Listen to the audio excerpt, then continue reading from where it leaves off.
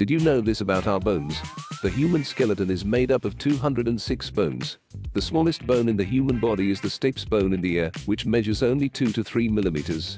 The longest bone in the human body is the femur or thigh bone, which measures about 18 to 20 inches.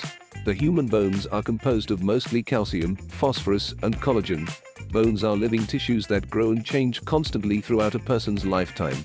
The human skull is made up of 22 bones, 8 cranial bones and 14 facial bones. Bones are classified into 5 types based on their shapes.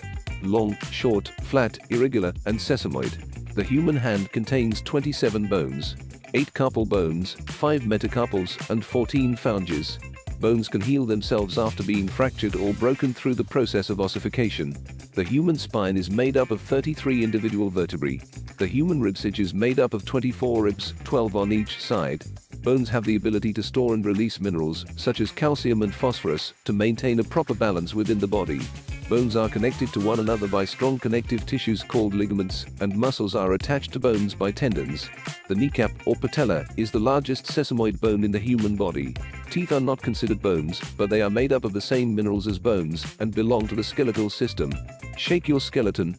Thanks from Wisering.